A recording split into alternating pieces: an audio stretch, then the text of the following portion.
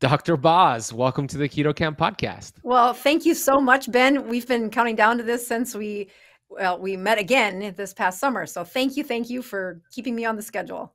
No, thank you for being here. My audience loves your work. Uh, they're always asking me, when are you going to interview Dr. Boz? When are you going to interview? Today's the day, Keto Campers. We got her. so if you're listening on the podcast, you hear her voice. If you're watching on YouTube, you see her here in front of you we we met in person at uh, KetoCon really briefly in Austin, Texas, and then we got to spend some more time together in Orlando at the Keto Orlando Summit. Uh, we actually, you know, you went on stage, I went right after you, which was super cool. I got to see you in action, and I just love your message. I love your authenticity. I love how you get to the root cause and you're not chasing symptoms. You're just a rock star. So ah. thank you for being here today. well, you can say pioneers back to medicine. Like you look at many physicians that go into the world of healthcare saying, you know, I've been on the side where you interview medical students and you say, Why do you want to be a doctor? And they are the most motivated. They have philanthropy, they have drive, they have compassion, they have empathy for their community. And then it's like we squish that out of them as they become mm. doctors. that something happens to every one of my classmates and to me when you get in the business of medicine that finding finding people back on the side where we don't have to make it so darn complicated. It can be a lot easier in caring for people. And as lovely as and privileged as it is to write prescriptions in the 21st century, they don't fix as much as we thought they did. Mm, yeah, well said. And I have I have a lot of respect for for doctors and practitioners who first start off during that conventional route, allopathic care, and there's a time and place for it, right? But they kind of see the writing on the wall. We're we're treating things after the fact, after the fact. What if we did something to just prevent that from ever happening? And they make that 180 decision like you did, and you know Dr. Fung and other people out there, Dr. Berry and I I just have so much respect for that because once you see that truth, that's one thing to be aware, and then the second thing is, do I change my practice? Do I change everything that I've been taught? Like Oof. I've been telling patients to do this and I've been writing these prescriptions, but there's a different way. Do you go down that direction? I mean, how difficult was it for you to make that decision? You know, it's very interesting you mentioned that today because over the past uh, month, I did something that I've never done before. And I took 200 students through what I call an intense metabolic um, kick, like boost their metabolism. And in that class, there were several physicians. And I was curious, like, wow, I mean, I want to know this stuff and I really want to like apply this in that my practice but I was very curious to see what kind of physician would be interested in a course on how do you treat keto how do you keto treat people or at least metabolically enhance them uh, through this time. And as i got a couple of them on uh, private calls afterwards just asking what they thought of the course and what they uh, what feedback they had did they like it uh, they all were hoping, saying, I'm looking for a way to, you know, I, I, got better through a ketogenic diet. I got better through this metabolic stuff. I I can't believe how much of a difference it made in my own health. And I, I want to figure out how to transition to this. And I said, hold, hold your uh, ideas, zip your lips a little. Let me tell you what happens when you step outside the circle. I mean, mm. as you in an allopathic model, uh, the number of uh, peer reviews that I've had to I've had to sit through saying, yes, I did stop his statin. Yes, I did know that his LDL cholesterol was 180 and I stopped his statin. There's you know the, the process of going against the grain of going against the guidelines even though in the chart you can say they had muscle pain or you can find a, a reason that would medically you know medically shouldn't be challenged when you are the lone wolf outside of the pack it is easy to be attacked. And I said, do not st- step in that direction and put your name on the line until you are really sure that's what you want to do. Because once advice. you're there, you can't go back. Mm. And you know, I I, re- I really empathize with what they're struggling with because I remember this choice point as well that you don't have the um, blinders on anymore once your own health is improved. And you know, I think having a little insight into being an independent physician, not being part of a corporate uh, medicine for you know a good dozen years before my mom's cancer really got bad, and I had to like stop the music, say I'm going to be a good doctor to one patient over this next year. I'm going to say no to everything else except this one patient. and it was terrible. That's totally against what my you know midwestern work hard um, the, the harder you work the more valuable you are i was doing it for one person this whole year and it's not like the clinic closed i just had to say no a lot to, to be that present for my mom in her care and and the band-aid pulling off of what how sick she really was and what happened when we switched the fuel inside her cells and then how alive she was inside that you couldn't see when she was that sick. You can't unsee it. You can't go back and say oh if this was my mom how, how many other of my patients are hidden behind a mm. brain fog or chronic infl- inflammation or prescription medications that I said, take that Prozac, it'll improve that, you know, serotonin by 10% and you're going to feel 4% better. Mm. And then know that that isn't anything like what happens when you change the fuel inside all their cells. So I, I think when I look at the transition out of that um, that traditional path, I don't abandon prescriptions. I think there is a place where I can study patients well. I can write prescriptions in a way that does bridge them. I think the most valuable part of bridging these two worlds is learning not to overpromise on either one and then recognizing that if you're a lone wolf, if you like isolation, if you want your um, your health to be super private, then you probably should go with one prescription at a time and one doctor visit at a time but one of the one of the other blessings that I think really wove into my history and wove into how the transition to serving outside of traditional medicine has just been I couldn't have planned it this good actually was my favorite organ is the brain. Um, so I'm an internal medicine doctor. I do bread and butter internal medicine, but repairing broken brains has always been this underlying from the first patient I saw, I, you know, from the first moment I said, I'm not going to be an ICU physician. I'm going to be a mom that does outpatient only. And I'm going to I'm going to work at peak brain performance is what I care to do the most of. Well, there is no clinic that does peak brain performance. At least there wasn't in 2001. And so primary care internal medicine, but really a constant drive to say, how do you get their brains to work better? Mm. And this lent uh, a, a, path towards uh, taking care of a, of depression, taking care of Parkinson's, taking care of um, psychotic episodes, but then taking care of a, a an ocean filled with addiction. Mm. Now, riddle a brain, sex, drugs, rock and roll will okay, drugs and rock and roll will will just be a, you know the quickest way to to just pummel that brain. And repairing it has so many psychological and spiritual conversations that I don't I don't think there's another place in medicine that you can really have those three pillars of mind, body, and spirit that yes, I can write prescriptions that will make their brains better, but when they have a haunting childhood of um, being shamed for being obese or eating in secrecy because that's what they had to do, and then they never tell you that that's what they're doing. And in order to fix that problem, you also have to recognize that their spirit is probably broken and that, if I leave spirit out of it, if I don't even bring up the fact that, you know, you know, how, how do we heal all three parts of you, then I can get them better for a while. But they, I mean, almost all of them relapsed if they didn't find a way to honor a higher power and put that in their language again. And that is absolutely as much as you might hear that the first year of medical school that, you know, spirituality is important to the patient okay, I don't think I ever heard it again in any other place, but that first introduction lecture of, you know, the biopsychosocial model of a patient.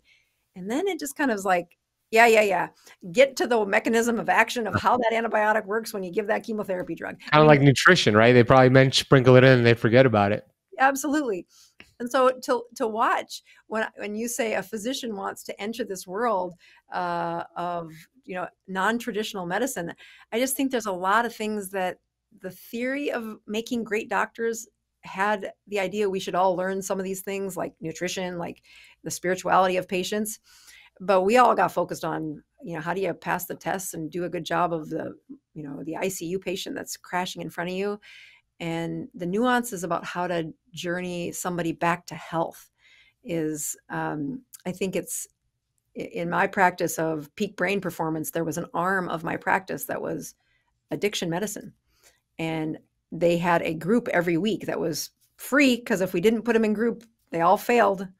And what we learned was when you're trying to teach adults how to behave differently, uh, the prescriptions are nice, but they need to watch another human being who's screwing it up just like they are and for the first time see it in themselves mm. and, and, that's that's when you know you're making a difference that's when you're like oh, that's that's what you want to capture with somebody as they're you know learning about how to heal themselves through you know what is a better metabolism? What is better mechanics? What is a better prediction of longevity? Um, but you can you can tell them what to do in, in uh, your prescription pad or even in some of the, the, things you're telling them to eat. But to get people to stay in a consistent pattern of eating that isn't so dopamine rewarded yeah. that's hard. Yeah you know i have i have a, a lot of um i want to unpack that real quick. So i only could come from my perspective when it comes to the addiction part i am by no means an addiction expert and I don't have the experience that you have when it comes to addiction. But I want to hear your thoughts on my thoughts when it comes to what I did for my addiction. So growing up, I used to have addictions to sugar, video games, drugs, and I was putting all of this energy and bandwidth into toxic behaviors. But then I went through rock bottom and depression and suicide, which opened up actually a purpose for me. And I started to uncover what's important to me, which was learning about nutrition, learning about health, getting the message out to the world so what I did is I took all of the energy that I was using in those bad behaviors, addictive behaviors, and I transferred it into studying and video content and speaking on stage and all these crazy, amazing things that I'm doing. So I look at it as a transfer of energy and kind of it was a superpower that I had, but I was using it for the wrong reasons. Mm-hmm. Now I'm mm-hmm. using it for the right reasons because I'm clear on my purpose. Now I don't know if that's accurate, but that's where I'm coming from, and I want to hear your thoughts. I would hire you any day. okay. No, you look at uh, when people are broken, eh, eh, they will put so much energy into a path that is giving them some sort of reward. It's giving them some sort of relief. And you know, I, I like to think of um, you know something that people think is um, is not them um, and it sounds ridiculous when you first explain that somebody will cut themselves to feel better. Mm. And you're like, what, what do you mean? Why would they do that? And you you look at especially when somebody is in a transition stage from uh, childhood to adolescence that their brain is growing really quickly during a very special two or three years of their life. And so i would actually um, i mean we can take your case for an example like do you recall what your what your life was like at about the age of uh, 11 or 12 and what yes stress- uh, i was overweight i was bullied and picked on wore t-shirts inside of swimming pools low self-esteem no girlfriends video games right. all the time yeah Okay, so it's a, absolutely in that time, especially a boy brain is very easy to predict when the length of their hippocampus is growing in uh, exponential. It's really fast growth of their hippocampus. That um, it is. It also wires with how they feel about themselves uh, during that time when that growth is really, really rapid. So uh, I, I, think it's the the root of every great movie. The adolescent going through some traumatic struggles and how that empowers them for the rest of their life. And you look at uh, the pain that, that, that was caused in your life at that time, where uh, being accepted, uh, being judged by the outside look of you, um, and then not having a strong enough uh, voice from a mentor, or at least one that could appreciate how horrible that was. Uh, so you were lonely. There's a lonesomeness in that. And when you when you look at how much of the wiring in uh, in getting pleasure from a few things that you were able to see dopamine surge, like they won in a video game, they ate high um, high sugar foods with small particle sizes. Boom, that's going to surge that dopamine. And they hit it again, hit it again, hit it again. Uh, it, it is just like a drug that as soon as that um, that dopamine is exhausted in the first like wave of their addiction the next wave they don't get as much so they try to do it more and the next wave they don't get as much so they try to do it more and the brain never gets this time to really heal and and restore all those neurotransmitters the ones that are causing them to feel good so they just pummel that brain again and again and again and as you watch people heal outside of that rapid learning curve the, the there are some really important moments that to, to be able to even describe yourself during that time with ease meaning you can you can imagine yourself you can see yourself but almost as a third you know a, a bird's eye view a, a different person watching your previous self. The act of of having empathy for that version of you is a skill set that is that is only accomplished in a mature brain and many people can't do it without the assistance of somebody saying do you recognize how how difficult that was for you how lonesome that was how how wouldn't you want to go help that kid? And it's in that moment where you can see yourself in the pain you've had and then transfer that to say how can i how can i give to that kid today? How can i be that version of the hero that i needed in today's world? Mm, that's good. And it, it, it will not give you the dopamine on the first time you do it but it fuels that connection of what what was their hurt what was their you know their their trauma uh, and then finding a way to weave into that story a purpose going forward.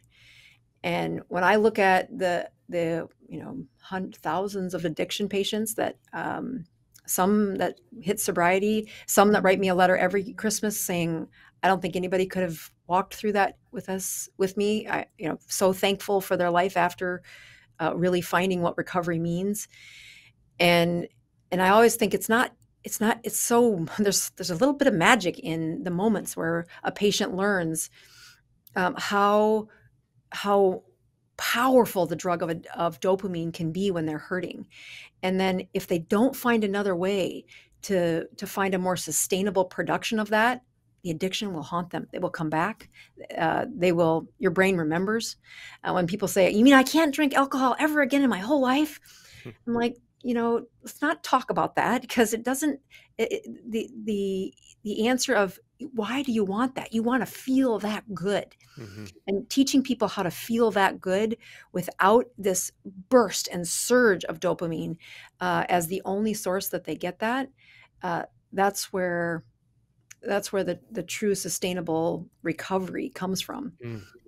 That's so good. And that it goes back to the goals, right? If you don't have a purpose, it's like for me, I was filling the voids with these dopamine hits. There's a great quote from Robert Heinlein. He said, "In the absence of clearly defined goals, we become strangely loyal to performing daily trivia until ultimately we become enslaved to it." Daily oh. trivia are those dopamine hits that we're doing all day long um, it's so important to find out what's important to you or discover what's important to you and then live on purpose with that purpose because i do think it's it, it was a superpower that i that i have. Mm-hmm. I, I was been called this addictive personality but there's a lot of like energy in that i was putting, i was one of the best video game players in the world right? Oh wow. I was like awesome. that focused on it and then if i transfer that now to what i'm doing i want i want to be one of the best people in our field right? So i think it's a superpower that i have yeah. And I, I, hate that word addictive personality because it means you had passion. Uh-huh. Okay. That passion happened to be for food and video games. Okay. So quit saying the word addictive personality because it comes with these like negative things. Mm. No, it is a, an infusion of the energy where you push it in a direction that does have a long term reward associated with it. You know, I, I, I had a, a one of my, my favorite gigs in life was Department of Defense asked me to help teach um, leaders uh, about how do you heal a brain. So here's 20 years of practice, uh, lots of you know bloody noses and black eyes on how to not do it right, but some pretty good rules saying here's what you got to do if you want to get a brain healthy. And I remember using this analogy over and over again and how helpful that was. That in people with addiction, they have found uh, there there are in the human brain there are at least a dozen ways that you can stimulate the production of dopamine. And when you're in development, if you're only practicing one or two of them, uh, that becomes like a number nine wire in the brain that every time you touch it, you're going to make dopamine from that. Every time you touch it, you're going to make dopamine from that. The other th- places are turned into like spider threads. They're still present in your brain, but you're going to have to exercise them. You're going to have to find a way to say, you mean I can have uh, dopamine pleasure from from sex. I can have dopamine pleasure from exercise. I can have dopamine pleasure from serving other people. And it's, you know, the sex people can jump to, the exercise people talk about, but the serving other people turns into this place where you're like, no, no, no, you don't get it. It's a long, it's the long game. It's a sustainable process where there's there's a joy, there's a level of oxytocin, which is this love hormone that really is coupled with an abundant production of dopamine mm. that you can feel in the people who have a purpose that isn't such a burst and valley like what an exogenous uh, production of, I guess, you know, sex, drugs, rock and roll. That's a but, good. That's a good uh, distinction between exogenous dopamine burst versus endogenous. So I, I, would also put gratitude right in that practice of endogenous and oxytocin and a safe way to get dopamine. Uh, how do you? I know there's things like dopamine fasting and resets during the day, but maybe some practical tips for my audience who might be dealing with this. And of course, you know, seek a specialist, and that's very important. But what some practical tips they can do? Maybe some resets where they're not on their phone. What can they do? You know, one of my favorite hacks was uh, some things I practiced when I was serving um, uh, an audience of of inmates. So I would go to this jail, and the jail is in a community where 40% of the population is alcohol addicted. Hmm. The average person in front of me had been arrested over 70 times for alcohol addiction. I mean, it's just uh, such a pummeled brains I, I, I, to transfer how broken you might think your brain is i'm telling you i would love you to come down do some of the service work and watch to see what does it look like when you're in i mean that's 40% of the teachers 40% of the preachers wow. have alcoholism 40% of the cops 40% 40% of the community is addicted to alcohol. And so you're in this jail and you don't have a lot of resources. Everybody needs a therapist. Everybody's had trauma. Everybody's brain isn't working right. So i i I went to say, what is it that I could do that would have transferable resources in a place where where you're in jail. You don't get to give them drugs. You don't get to give them my prescriptions. How can I help their brains to stop the chaos, which is really where they start to crave and want for their drug, and and they'll just get obsessed with it. So one of the best um, biohacks for a, a brain that's cheap, easy, and safe is something I call left-handed loops. So I would do this in every one of my um, in every one of my workshops, and I would tell everybody, "Here's the rules," and I'd ha- have them pick up a pen or a pencil, and I would. Um, actually, I wonder if I have any in this notebook because when I get pissed off, when I get irritated, left-handed loops. And so, oh, that's so good. Look at this. So here's a page. oh, I see that. So for those listening, it's a whole page of uh, looks like like um scribble. The letter L. Yeah, if you're writing the letter L, it's the letter L cursive all the way across the page. Ah. And so you you go all the way across the page, pick up your pen, go all the way, and you're using the non-dominant hand. Mm. And what mm. you're really looking for is a rhythm of just making that L all the way across the page. Here's the rules: you cannot speak, you cannot make noise from your vocal cords for three minutes. Hmm. And when I give this in a live audience, I, I'm usually talking about brains that are are healthy and then those that are not. And um, unlike uh, you, there are many brains that go through a traumatic age at their you know peripubertal time, and their emotional development never advances beyond that of a 15 year old boy. Wow. And frequently, you'll find that these males are now 50 years old in your in your class, and they're the kind of they're the guy who uh, gets a girlfriend at you know 16 17 18 and they get married uh, and at about 28 years old um, they break up because it's not going well and then he finds another girl who's maybe 20 years old but he's 30 years old and then they date for about 10 years and then they break up again and he finds another one and then he's now a 50 year old man and he's attracted to a 20 year old girl. Wow. And it really as much as you make fun like it's the shape of this 20 year old youthful girl no it's her emotional development that he's attracted to. Wow and so you'll see that there are when a brain is chronically swollen, when they have chronic inflammatory problems in their in their brain, their emotional development cannot enhance until you remove that, until you get very little of that. So here's this 50 year old man trying to say, why can't I keep a relationship with someone my own age? And it has everything to do with that emotional development. So I, I have usually told a story about this and I, I kind of make it funny. And then I say, all right, um, if you know if somebody can't hold your quietness I, I need you to leave the room ahead of time. And inevitably, especially if there's like 50 people in the room, there's a man who cannot be quiet. He cannot be quiet for the three minutes. I'm pushing his brain with these left handed loops, and he'll crack a joke just to make people laugh because he cannot regulate the science or the silence on his own. His development is blunted. Hmm. And I hate outing them because I'm like, yeah. oh, I feel really bad because everybody now knows you're stuck. And the reason you continue to drink booze every weekend is because you can't find this joy outside of that moment. Wow. And I, I just think uh, looking at some of the hacks, uh, so I tell your audience this saying, all right, you're alone, you're going to be quiet, three minutes. And then what happens when you do a left handed loop over and over and over again is, oh, it's remarkable to watch a room do this. Uh, their breathing rate slows down. Uh, I'll ask people when they get done with the three minutes, what did what did you feel? And some people are like, oh, I felt relaxed. Oh, I felt like my I I finally settled down. And other people say, I felt anxious. Mm.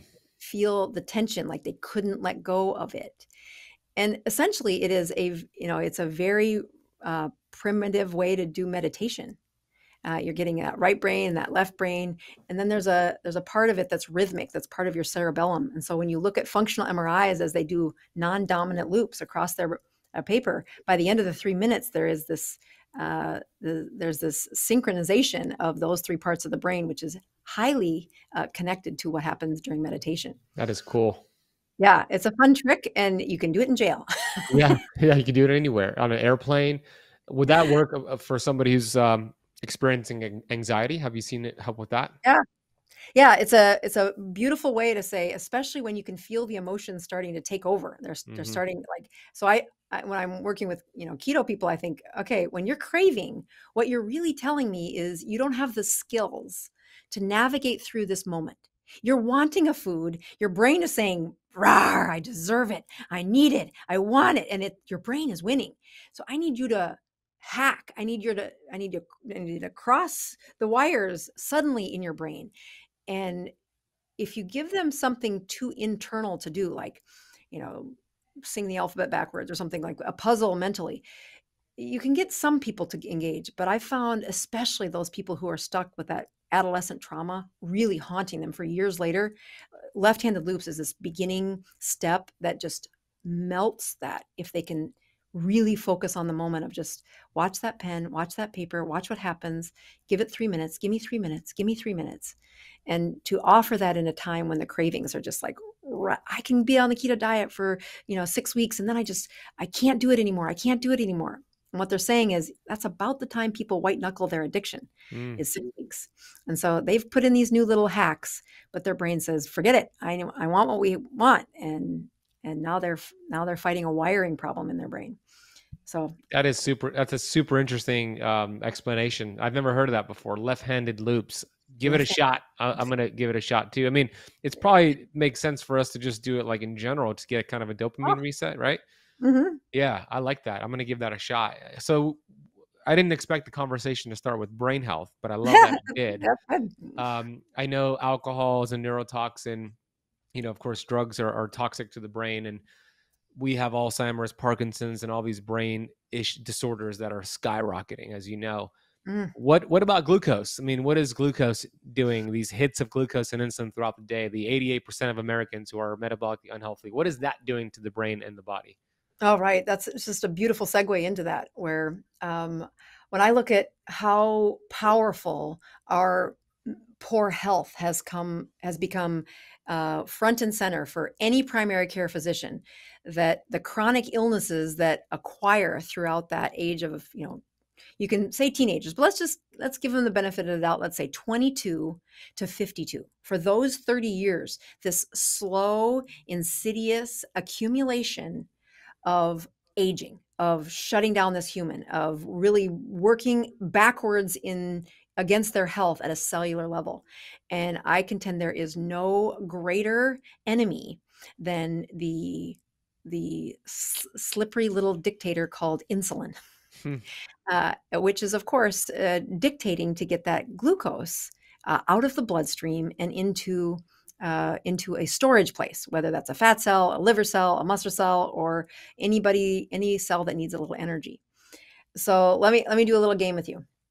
So um, if you look at um, one of the highest uh, publicly funded educations for middle schoolers, uh, it comes from the the industry of concussions. So, have you ever had a concussion? No. No. Do you know? Uh, do you know about you know anybody that's have a, had a concussion? Yes. Okay, so tell me what happened to them. What was what was their brain doing? Car accident, um, concussion. What happened to that person specifically afterward? Yeah. So tell me about their brain. Like, do you remember anything that was going on with their brain? Like, yeah, oh, you know, repeating the same words, um, brain fog, some short-term memory issues were the most common symptoms that I recognized. Yeah. Mm-hmm. Did they did he have a headache? I don't remember, um, but I would say probably. Yeah, most likely they had a headache. Yeah. Um, and, and when you when you think about um, the acquisition of these symptoms that come with concussion, you know, headache is very common. Repetition of words is common. Uh, confusion is common, hmm um, and you'll find um, that their coordination can be off. hmm Uh, do you think people can die from a concussion? Yes. Okay, so how do they die? Trauma to the brain, um, i- impact to the brain, um, severe inflammation. Uh, Right. So that that trauma comes into the brain and that energy swells the brain. And that swelling of the brain only has one door. If the skull. yeah, and so it'll push it down the brainstem unless you go to the surgeon and they take a big door out of their skull and honest to God, we lay it right next to their bed until that swelling has gone down, then we put it back in and we sew it back on. It's wild. Okay, so that's what happens when a concussion in a, a very short sequence of how swollen is their brain. So uh, I'm going to use uh, one example and then we're going to get to glucose. When you look at alcohol, um, describe some symptoms that happen in the function of a brain Mm. when you've used alcohol. Yeah, everything we just shared, repeating your words, confusion, Confusion, can't navigate very well. a Uh, headache from a hangover too. Yep. hangover. Okay, so can you die from too much alcohol? Yeah, absolutely. You even took share with me that people die in your uh, South Dakota from freezing to death. Uh, yeah. Uh, How do they die from alcohol? uh, of Short. poisoning, Yeah. So what's alcohol poisoning? How does that work? liver toxicity. Liver can't, the body can't detoxify uh, quick enough. Um, it's too much poison. Right. So that the liver disease is long-term alcohol, short-term alcohol. Ah. You know, four shots of alcohol, it it goes into the brain The and it brain. causes swelling. It sw- it pulls water with it. For one alcohol, one molecule of alcohol, it pours four molecules of water, and so now you have this infusion of of inflammation of water into the brain, and there's only one hole to push that brain into, which is down the spinal cord. And unlike an ICU where I can calculate just how swollen is your brain uh, before I call the surgeon and put that doorway into your top of your skull, you're on a frat house with nobody paying attention. Your breathing Mm. slowly suppresses and you suffocate. Wow. And that that whole story is worthy of telling because why do you think insulin works so stinking hard to get sugar out of the bloodstream? It's a toxin. It's a toxin. What happens when you're a diabetic and your sugar goes super high? How do they die? Well, they they die from a lot of complications, but it, it ends up in like their eyes, it ends up in their heart, it ends up in their brain. Um, Uh, and again, that's long-term oh, long term. But if you're a type 1 diabetic and you go into a diabetic coma because your blood sugar shoots to 800, Mm. how do they die? Diabetic coma, like too much sugar in the brain. Yep. Yes. So that sugar, that glucose also pulls water molecules with it. And your body will, it will secrete so much insulin to keep that glucose from killing you. Mm. That high glucose will swell your brain and it will push that brain down the hole in the spinal cord. And by golly, they die. They suffocate and they die. That's what a diabetic coma is. And when when you look at that chronic diseases that come along from smoldering of uh, uh, of uh, chronic brain injury, like I don't know, boxing or football playing, Yeah. uh, and then you. Yep. right? Or you look at the chronic brain disease that happens from uh, alcoholism over time. Their brains are not pretty after about 10 years of drinking. They're really not pretty. A very similar brain anatomy shows up with this chronically elevated blood sugars in mm. people's systems. Unfortunately, it's this, just like alcoholism, it's the slow, steady acquisition of a behavior the people eh, everybody does it. I, i'm not i'm not too much heavier than the guy next to me. My blood sugar isn't that high. I checked it the other day. It was a little high but what they're what they're missing is the that insidious slimy dictator of insulin is now five times higher than it should be. They put in a little bit of food and instead of a, a tablespoon of of insulin they produce a cup of insulin mm. and that is uh, that process of having chronically elevated blood sugars and chronic production of insulin is what creates that uh, pathology that's super sneaky and tiny but absolutely what makes us um, elders before we should increases our risk of cancer uh, increases the uh, autoimmune disorders uh, especially those diseases of memory problems and uh, of course, heart disease. And so you look at, you know, one of my campaigns for the last year has been um, how do you get the doctor out of the way? I mean, as much as you're like, oh, I'd like to pay off all those medical loans too. Uh, no, I, I, want the patients that come to see me to not have to need me so much. Yeah. And you know, sinking uh, a a, an education of how do I connect with them that what they're doing to their brains by having an average blood sugar north of 120 is cutting off a memory cycle that you you have you don't know what um, I mean you can go to any nursing home and see what that's what you're missing. It isn't that they're in a nursing home for a week. They're in nursing homes for a couple of decades now. You know, it is because the brain doesn't work. Mm-hmm. That brain accumulated a whole bunch of proteins that shouldn't have been put in your there, and they were absolutely linked to what is your average blood sugar. Mm-hmm.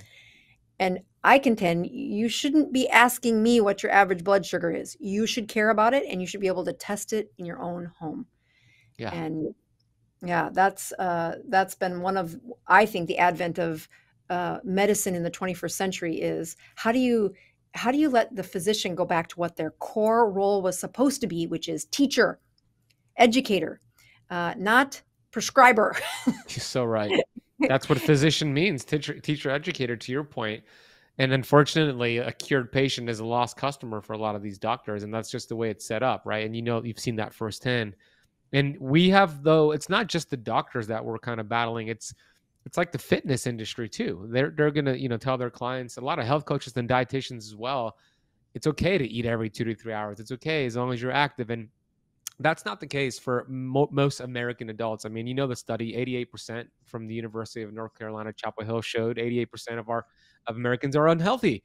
They're eating mm-hmm. frequently. They have high glucose levels, high insulin levels. I remember when I interviewed a colleague of mine, Dr. Don Clum, he did a patient population survey to uh, he had hundreds of his patients write down every time they ate something. So it could have been a snack or a full meal, but anytime they started that glucose insulin process, and the average person was doing it 17 to 23 times per day, right? And if you if you think about it, you know that that could be true because it's like the handful of almonds, it's the kombucha. But to your point, what I've learned from you, it's also like the chewing gum and the mints oh, yes. Could you talk about that too? Yeah you know it's it's such a sneaky thing that happens when when you finally get behind the the, the doors of watching patient data over time uh, you get them wearing continuous glucose monitors and i don't know if i if the first time i learned it was my patients who were wearing a continuous glucose monitor but it became absolutely i had every single person test this theory uh, after i learned what the first few taught me and that is you you you know, and you can find this, this isn't just in my practice, but I, I didn't know this until the patients showed me that when they would chew on a, a breath mint, when they would chew gum, the amount of insulin that would be produced by their system, especially in somebody who's not healthy, was it was abundant and it was coming from the mastication, the chewing cycle that was with their gum. So if, if you look at the continuum that I put patients on to say, how do you go from here to there? Because if you sprint, you're going to fall. It's these steady steps that do really need to be tackled and unpacked. Why do you have, uh, you know, why is it that you're chewing gum for every hour of the day? and, and you'll so i have these gum chewers this is the, the how i learned this and they would be able to eat what they needed to in this five hour window and then their sugars would go up and they would feel terrible and you could just see the spikes in some of their sugars like what are you doing about every hour? And they would say oh i'm putting in another piece of gum. Mm. and so then i'm like all right you get nothing over the next day but gum. And oh my goodness their sugars did not go down at all. Wow. you're like okay you are making so much insulin and, and they are stimulating but they feel terrible too because the insulin's trying to push down the sugar. The sugars you know they have unfortunately plenty of sugar to keep them from doing anything disastrous but they sure as heck were not going to lose weight until we said okay you're masticating as a coping skill when i tell you to stop eating you're you're chewing as a as a way to deal with some sort of stress and I need you to chew only in the only in those five hours. If you want to chew gum, you can have all the gum you want in those five hours that you eat. But outside of that, I need the 19 other hours to clean up this mess you've made over the last 30 years. And of course, this would reveal. I mean, that's where the stress would come from. They'd fall off the wagon. I can't do it. You're taking away gum. How dare you? I'm like, it's it's not me your system shows me very clearly that when you masticate and then again i didn't if I was taught this in medical school, I completely forgot it because then I'm going back to the physiology books. Do they really make that much? You know, can it stimulate the production of insulin? Oh, by golly, it's right in the textbooks. the amylase secretion from your parotid gland is part of the mastication and it does uh, correlate to the production of insulin.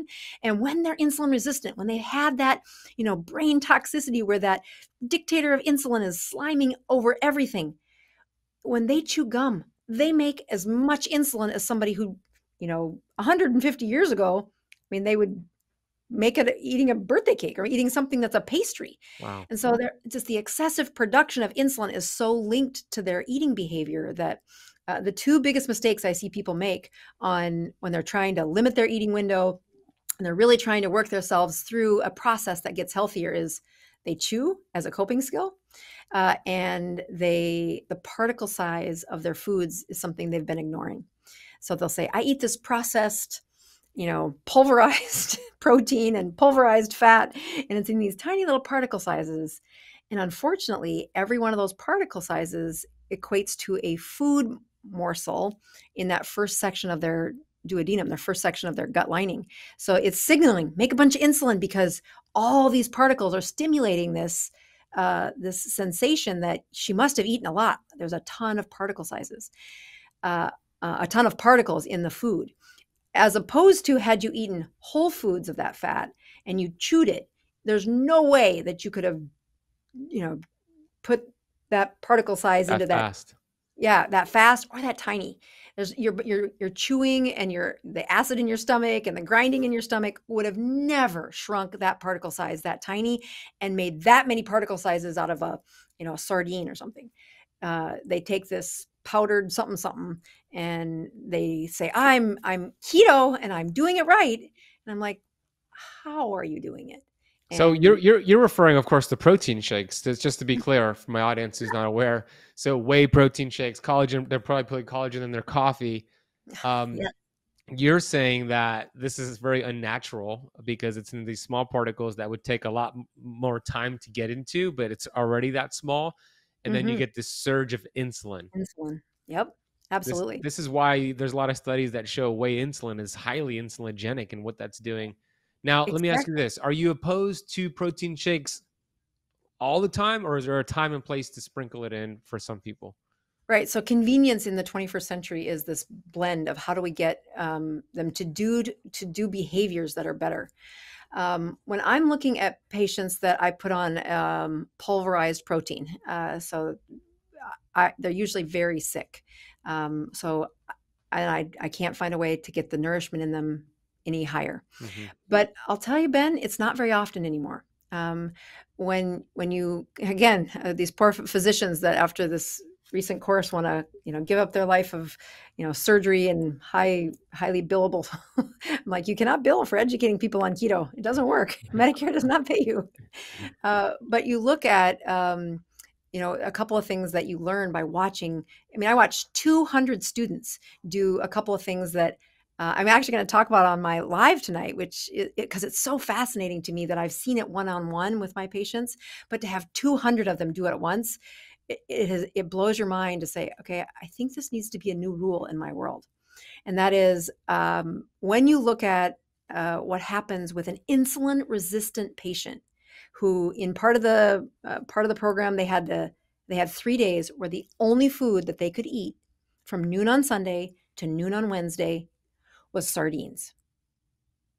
If you Yum. want liquids yeah right. that's not what most of them said. They're like ah, yeah I'm, uh, I'm, being sarcastic. I'm not not yum. Really good for you but definitely i don't like the taste. Right. So said everybody in there. But what happened was this I mean, there was most of the people were insulin resistant. Most of the people, I could see their insulin resistance in their daily glucoses and daily poor ketone production for the week prior to this. And then, without exception, they took in this highly absorbable protein and fat. And, and by the way, the most absorbable calcium is in sardines, a ah, very nutrient dense food. And first of all, nobody overdosed on sardines. Yeah. I believe that. but what happened was their blood sugars, everybody's blood sugar lowered. Mm. I have insulin resistant patients who fast for 72 hours and they can't lower their blood sugars because wow. because of what's happening on the backside. Um, so when I say, well, I let people do pulverized protein, if they're fit and and it's a convenience and they're not insulin resistant, absolutely. If they put it in their four hour window and there was there was just nothing else they could eat, okay, fine. But if they're actually trying to reverse insulin resistance, you're, you're fighting me. That those tiny particle sizes just they just ping the heck out of the stimulus to your pancreas to bathe everything in your dictator again. And that's the opposite direction we want to be going. We want to go this direction.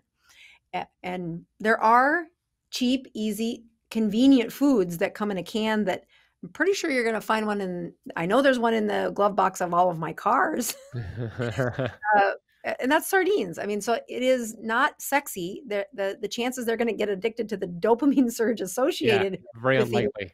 yeah. Well, we've heard and, we've heard of the bacon butter beef and eggs fast. We should do one with sardines now. Thirty days straight of sardines challenge. absolutely. I have a patient that did this. You're going to be careful because. Uh, oh really? Wow. Oh my gosh! You should see his numbers. That and is he, commitment he, he, yeah honestly uh, what i had people do was uh, the first the first time we did the challenge they got sardines and again there were some people who who really took their food volume down I mean, one or two cans a day. Um, and then the second the second week we did a, a, water fast and said if you've never we had people that had never done that before. Mm-hmm. I said if you've never done that, everybody can get to 36 hours everybody can get to a 36 hour fast. And if after the 36 hours you want to eat in this 72 hours, you can finish out the fast with sardines. Sardines. Yeah, interesting. And the metabolics that what happened behind the scenes to their metabolism was just impressive. Like that is worth playing with. If you're stuck, that's worth playing with. Yeah, I like that. Uh, so let me back to the protein stuff. Mm-hmm. I know there's different companies that formulate protein shakes differently. Like some will include like whole egg powder and different things. So will there be ones that are worse, more insulinogenic versus those that are better? And then what if you consume them around a workout when you're more insulin sensitive? So the stuff I've read for the um, insulin, um, the, the uh, around a workout, that branch chain amino acid that gets uh, associated with um, near a workout it definitely has the ability to stimulate that muscle growth. Um, I would contend, though, if that's what you're doing, is taking in a muscle or a protein to build the muscle in your body to really strengthen, then you shouldn't be insulin resistant. Okay, insulin resistance is a season uh, after you've lost the weight, and I think that's another major thing that's happened in my practice. Is oh gosh, do you know how many hours I've spent telling people how, how, they should exercise and go for a little walk and get their heart rate up? I do not say that anymore. I never tell them to do that. And it's not that I don't think they should exercise. I think that you do not fix insulin resistance with exercise. Mm. You fix insulin resistance with the way you eat. Mm. And there is so much that can be done with improving how they eat. And the best part is once they're feeling good, humans like to go for walks. Yeah. they yeah. like to be active and they will do it without me telling them once they feel better. and I don't have to say, "Did you get 185 steps in?" You know, whatever, 10,000 steps in this and the, no, you don't have to be that methodical. Never in past chapters of human behavior have we needed that. It, you know, looking at people who come to me saying, "Am I getting too much protein? Uh, I, I want to do this protein shake." And I have teenagers that are you know trying to be muscular and all the kinds of things boys want to do at 16 to 22 and they can have protein shakes. Uh, they can have creatine in their drink. They can have branched chain amino acids. They're not insulin resistant. They haven't spent the last 20 years with a big fat tummy. Yeah. Uh, fair point fair point. Mm-hmm. and most and people so, are insulin resistant. Mm-hmm. but here's, so, here's the thing dr boz. a1C, right? You're big on the A1C, which I think, and I want you to get into why and some of the reasons why the A1C might not be accurate. But wouldn't it take typically five to maybe 15 years before that A1C changes, but the insulin is going up and up and up uh, during that time frame? Sure, but I would contend it doesn't if you look at the normal range for A1C, so let's go back. Uh, A1C has a correlation to average blood sugar. Mm-hmm. And how we're looking at that average blood sugar is we're using the lifespan of a red blood cell. Yeah. So, in people who have a red blood cell that um, is um, typically uh, the span isn't as long, uh, you'll see that they, the average changes. Uh, like you'll you'll read an A1C that's much higher, because you're only studying a shorter period of their of the red blood cell's life. So and what what scenario could you like? What scenario would that be?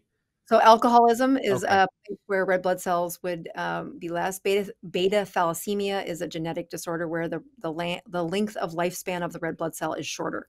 So you're going to see that the average blood sugars are are not estimated correctly, but they will have a stable for them.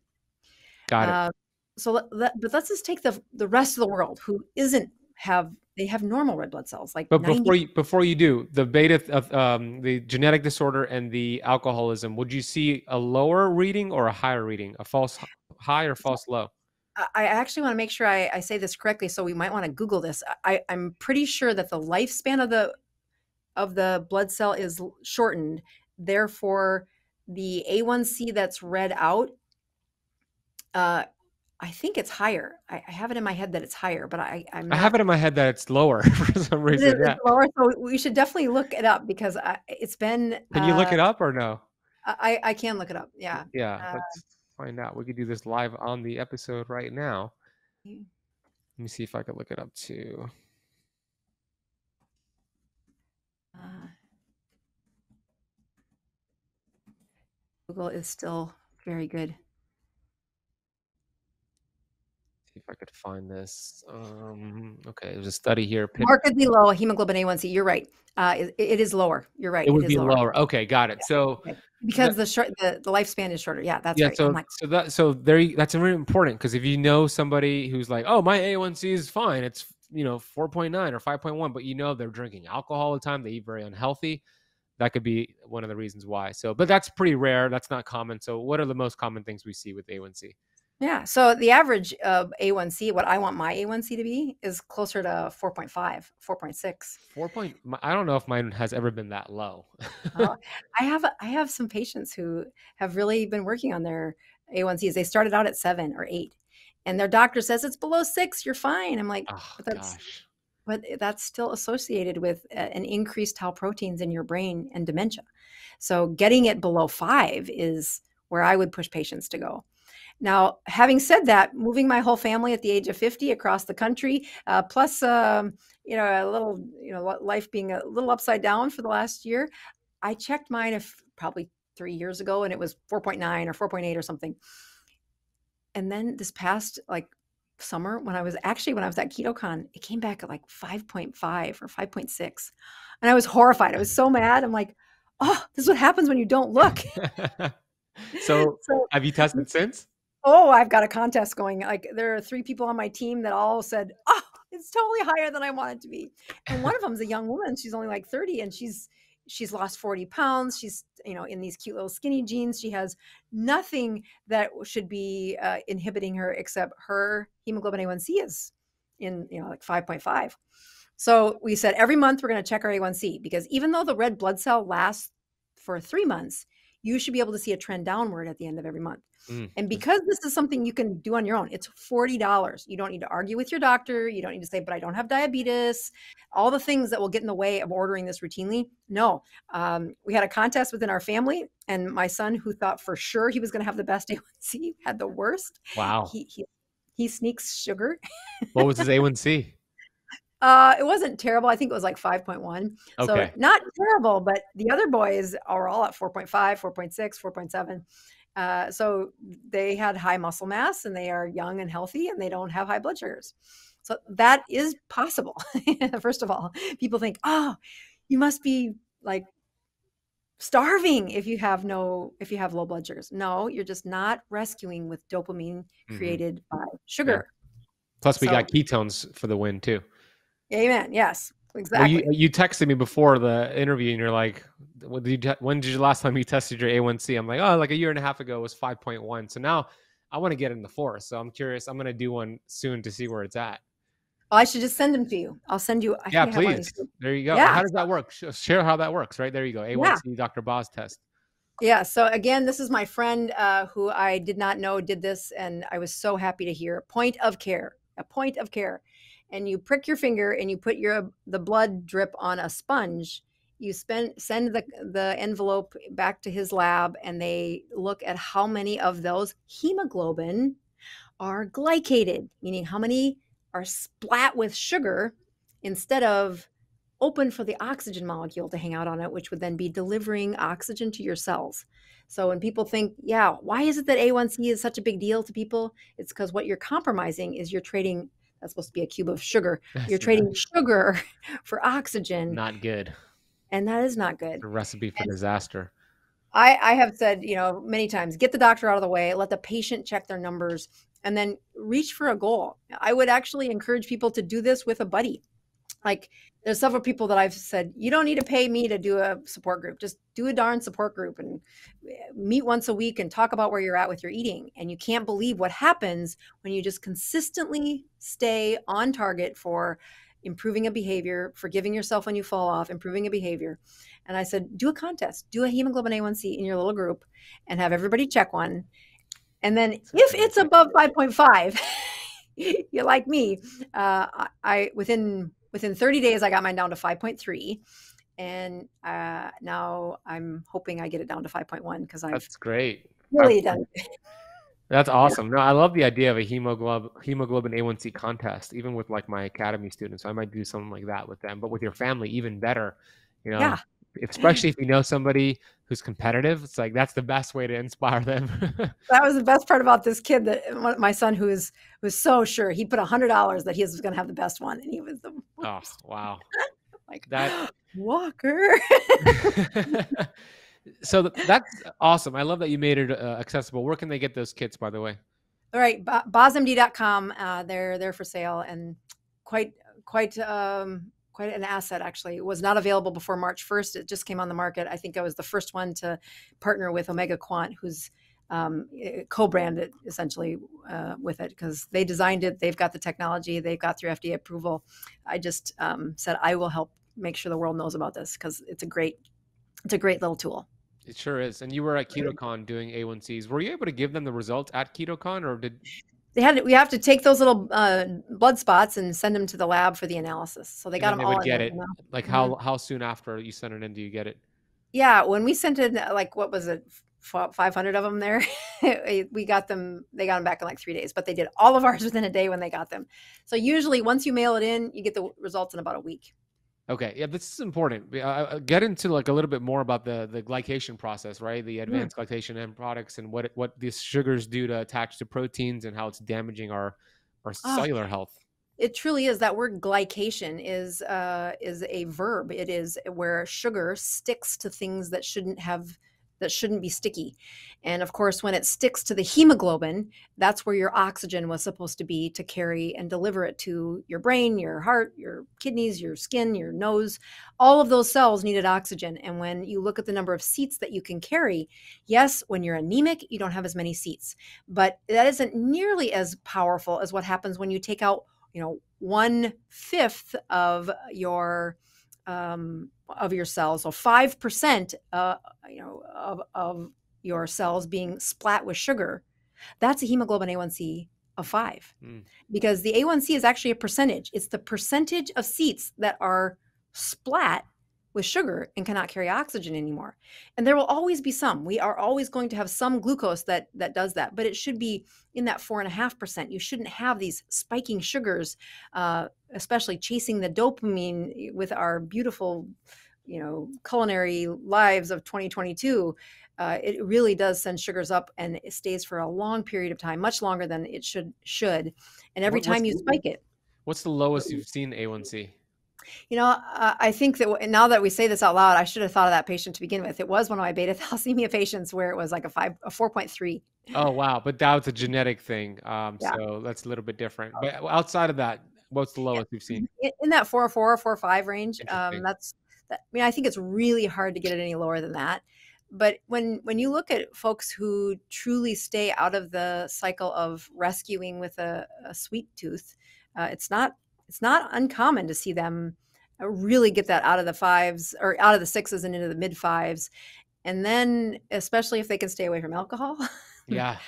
That's oh my god! Like I gave up alcohol almost eight years ago. I haven't had a sip, and not because I was ever addicted to it, but I just took me off my mission, and a mission was more important than a temporary buzz. So now that you've explained even more about the dangers of alcohol, I'm like, I'm so glad I gave it up, and hopefully this inspires people to at least limit your alcohol intake. I mean, it's just not good for you. Um, so it's a concussion every time you have a uh, buzz. Yeah, great. I love how you broke that down. The concussion, the sugar, and the alcohol. It's like brain swelling. Think about that every time you take a sip, even if it's the best alcohol in the world. Brain is swelling. Alcohol is a toxin. Amen. Yeah. Um, uh, okay. Uh, you know that it, it really is something I've been passionate about too. Is to to look at. I have three sons that are in this uh, world of how do you how do you get kids that aren't entitled how do you inspire people to be brave in today's world without getting their you know getting them knocked down and never to try again and you know the world of having access to sugar is one thing but having access to marijuana and alcohol and other mm-hmm. brain altering drugs that uh, the development in today's world once they sink into a place where their brain's not doing well i mean we don't have there's not all stories are beautiful like yours where you found the way to turn it around you found the way to put the passion in it and i really just commend you for being in the space to show other men what it looks like to say I've had a tough chapter and here's how i got on the on a better path. Because that inspiration to to lead to be the pied piper of how do you how do you raise strong men uh, boys into men? And as a mother of three sons it is something I, I think about, I pray about, I volunteer in places to say it might not be my own son that I'm helping, but that development of giving them the power of a healthy life, uh, it's a lot harder in 2022 because mm. temptations are close, right around the corner, from sugar to yeah. alcohol, social to, media. Yeah, mm-hmm. yeah. Thank you for that. By the way, I really appreciate that. Um, I want to close the conversation with one final topic. Um, so you mentioned how you know glycation is really bad, and part of that picture is what it's what sugar is doing to the mitochondria, um, all the the reactive oxygen species that are produced. It's like a one firefighter having to keep up with a whole building on fire. can't keep up with it. And eventually, that fire is going to take over. Similar when you're a sugar burner and you're not in ketosis. So what are the benefits of getting yourself into ketosis and how does that relate to this mitochondrial uncoupling process that you love to speak about? Mm, i love to talk about this yeah so yeah the uncoupled mitochondria is the goal for reversing some of these problems and one of one of the places that i've used recently to try and explain this to people is when when you look at a mitochondria that's coupled think of it as uh, it is linked to calories in to calories out. The amount of fuel that you're going to get comes from how much fuel are they swallowing, and that's how much fuel we can produce. That is what a coupled mitochondria looks like. And the body is always trying to get back to that. That is an energy conservative place. That's how, that's the goal. That's the homeostasis it's looking for. The only way that you can hack and be in a different journey of higher energy and uncoupled mitochondria is the fuel inside that mitochondria must be different. And when we uncouple the mitochondria, it is essentially a time when uh, our our ancestors, our ancient ancestors, would say, "Hey, guess what? There's no food around. We're going to have to survive without an intake of calories." And those bodies which could uncouple the association of energy production is no longer linked to what you're eating. It is producing energy in a faulty way, in a dangerous way. It's wasteful and it's just producing energy. And if you don't use it, if you make that ketone out of that uncoupled mitochondria uh, and you don't burn it in another place in your body, you pee it out. So you're going to run out of energy someday. But thankfully, we're all built with a little bit of pinch and inch around most of the corners. So that that, that fat fuel was going to last. Most of the people, you know, the people who survived, uh, they took that uncoupling and they wasted energy. It went out of that mitochondria. It went out of that mitochondria, and then the better part of what was happening at a cellular level is once that mitochondria is uncoupled and it's burning ketones, it's um, those liver is making a bunch of ketones. You now have, if you're measuring, you'd have 3.0 ketones or 4.0 ketones. Uh, they are sponging up those uh, free radicals. They are reversing what cellular damage should be happening. They are not glycating things. It is a cleaner fuel that your body will only go in the lane of wastefulness uh, when it's an uncoupled process. And so when, when patients ask, Do I, should I be in ketosis for the rest of my life? I'm like, well, you have to keep practicing how to get there. Your body is always going to want to go back to that coupled version where glucose comes in, and that's what we burn. We are coupled to what she's eating. If you don't stress that metabolism, and whether that's through you know fasting or exercise or sauna or whatever way that you burn more calories than you have available coming in your mouth, that's how you uncouple a mitochondria.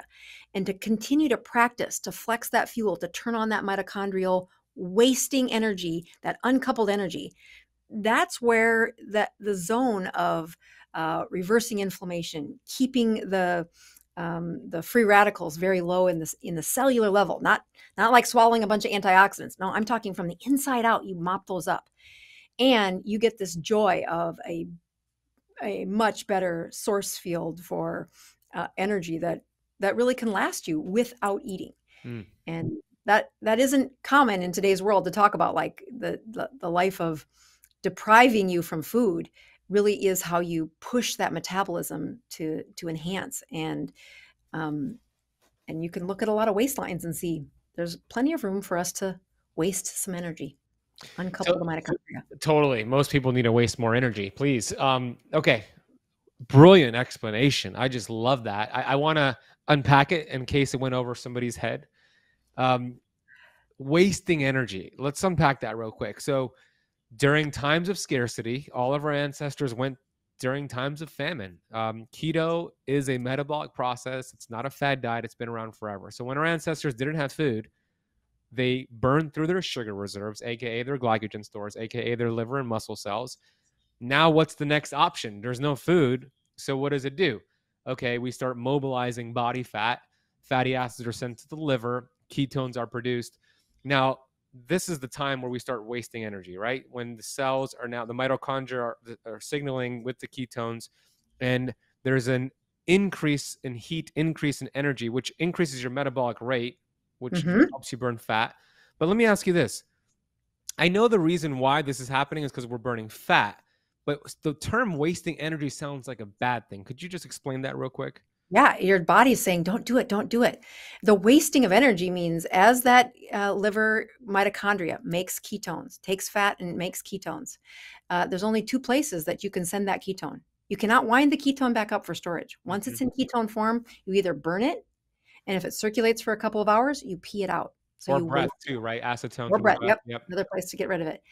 So if so it's giving that human the opportunity that if they want to run after the saber-tooth tiger and get their meal, they have the energy to do that. But if the opportunity isn't there, it's worth it's worth wasting it because if every day that they went without food, they got weaker and slower mm. and the energy was less, they die. They, they that might have happened in a you know branch of the human race, but yeah. they didn't live. The ones who could get through that time and have the energy to chase after the meal, that's who won. Thank God for metabolic flexibility and ketosis. The reason Amen. we exist today, all you keto bashers, you wouldn't live today if it wasn't for keto. Dang Um, straight. and then to, to be clear, I think we agree here because my my messaging with keto is a little bit different than a lot of people out there. It's similar to Dr. Mindy Pelz, so I know you had a oh conversation yeah, with yeah. in my book Keto Flex behind me. I think keto is great, but I don't think we should be in keto for the rest of our life. I think we should flex in and out. Is that what I heard you say as well? Right. I tell patients don't need to try to do that though. Um, so that's one of the places in this last course that I that I took patients and said, what what are their ketones during during the day? What are they doing during the night? And how Mm. often are they switching between glucose and ketones? And when I hear patients that are insulin resistant say, but I gotta have a carb day. I'm like, you don't understand. It's going to take you four days to get back to a metabolic state where you can flip it over again. When people look like you, Ben, they're lean, they've got Yeah. mostly muscle definition. They can have their body's going to flip back and forth between ketones and glucose, and you're going to use glucose without storing it in a layer of pinch an inch all the way around every corner. That that that pudginess comes from from storing and being in a coupled uh, uh, energy cycle for extended period of time where you can build up that storage. When they're lean, your body is going to do it naturally. And my, every one of my insulin resistant patients that hops onto a keto journey and they lose all this weight and then they flatline. I'm stalled. I'm stalled. I'm like, yeah, because that's what your body did. It is back to coupling the food. What you eat is what you're burning. And in order to get back to a weight loss process, to undo these 30 years of that slimy little dictator doing its naughty, you have to uncouple the energy again, It's great. which means you got to flex, you got to push it, you got to take that extended window and say, four hours is all you can eat. And now the new rule is that four hours needs to be during daylight. You Mhm. cannot eat after the sun sets. And then we have other rules. Yeah. I, I love that, and and like you said, it's it's there's many ways to uncouple. There is exercise, there is heat stress, cold stress. There's um taking um, MCTs like goat dairy and sheep dairy. I, I know you're big fans of those because they have uh, Mhm. 30% of his MCTs uncoupling, and there's also like uh, certain antioxidants. And Um, sardines. Oh, sardines! They're going back to the sardines. You know, I know of all the amazing benefits of sardines, but it's so hard for me to eat it. my fiance loves them, but me, I'm like, oh my gosh, I gotta like just suck it up. All right. Um I, I just push you. The next time you lead, you lead students all the time, right? Yeah, I do. Yeah. Pulling you to do like a 48 hour challenge everybody, only eat sardines, and then watch what their ketones do by the end of 48 That's hours. true. I'm very competitive, so that'll get me to do it too. Oh, it's it's fantastic. So we're on the same page. I agree with you. If somebody's insulin mm-hmm. resistant, type 2 diabetic, you, you need more uncoupling, more long, more ketosis versus somebody who's. The goal is to become metabolically flexible so you could go in and out, have mm-hmm. a higher carb, healthy carb meal, and go right back into ketosis the next day, like myself. That's the ultimate goal. But uncoupling is the name of the game. Last thing I want to ask you is this morning glucose numbers that are typically high day in day out what what are you seeing there is there a dawn effect or is there something else going on there what's going on with morning glucose Yeah, everybody has. So the dawn effect is this overly broadcasted. It sounds like pathology, but it, it is what you do every morning too. As as the globe turns and that sun True. is coming up, your pineal gland says, "Hey, wake Ben up with a little surge of glucose," Mhm. and that message goes to your liver, and you release, and your glucose goes up. But unlike my insulin resistant patients, your glucose goes back down. Mm-hmm. So it woke you up and you started your day and your glucose was back to normal. When I look at morning fasting glucoses that are elevated, it's a glucose that goes up and they have so much abundance that that cortisol surge just burps out of the pineal gland and then the liver just barfs all over their blood sugar. It just rises so much that they aren't going to burn that much uh, in a, a couple of hours. So it, it is why moving the eating window closer to that morning surge of cortisol, quit eating so late at night. I look at your your cortisol is going to rise every morning. You can't change that. The sun's going to come up every day. Yeah. I don't care if you're the night shift worker for 30 years, we still see it rise. and you want that by the way You want that. It's part of that's that's how your brain works. So to go backwards in time from that cortisol rise, you can't change that. I need to know how many hours did you have with no calories, Mm. which is why that evening meal becomes such a way to just sabotage Mm. anybody's good plan. so true Uh, insulin resistant people need to time backwards from their cortisol surge. And if they're having elevated numbers in the morning, I need you to clean up uh, sundown, no calorie, no no chewing, no gum, no nothing after the sun goes down. If you're in the middle of making your sardine salad and the sun goes down, you need to close it up, put it in the fridge, in a Ziploc bag and eat it tomorrow. Don't eat it that day. Sardine salad. so did you let me get this right? You said it's better to have a bigger meal when your cortisol is high in the morning. Is that what you said? Yeah. So pa- patients, one of the other things that uh, over time, when they are working on restoring their health, right? That's the whole point of what we're talking about here. Uh, that that feeling of fullness, that satiation, comes from several fat-based hormones that are are going to surge when you eat a nice fatty fatty meal. What we're looking at is giving you a surge of that earlier in the day, which will suppress that, you know, that need to eat, that hunger. Many people don't have any desire to eat early in the day because that glucose sent up, mm. their cortisol was a lot. And I'm like, okay, fine. But the first meal you eat needs to be a hearty meal which gets you satiated. And I've learned that when I when I ask patients to start working on that eating window, getting that eating window down to 4 or 5 hours instead of 8 hours, that if I can get a nice satiating meal with a rise in their leptin and a, a rise in their um, peptide YY, these are fat built uh, or fat responsive hormones. When you eat fat, you feel satiated. The next meal is almost always 70 per, you know only 70% of what they would have eaten so cut by 30% naturally yeah. so if they say i'm waiting i can i'm not hungry i'm going to eat at the end of the day but they have waited too long. It takes them almost they they eat 150% of what they should have eaten. And then the satiation is like they're like dopamine drunk. They're like, "Oh, I had so much food. Now I can go to sleep." We've all been like, there. right.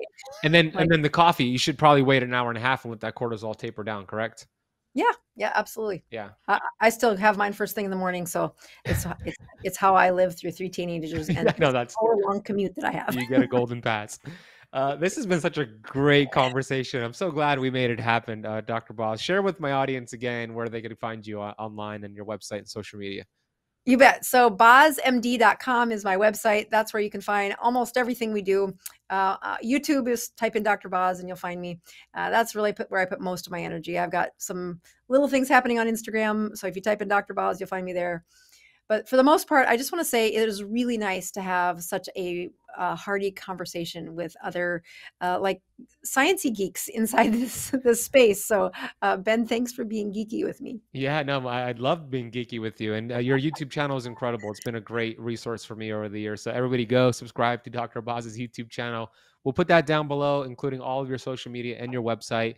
Uh, I want to acknowledge you and say thank you for your tremendous dedication and devotion to helping people wake up and treat their health with priority. And you do it with such grace and authenticity.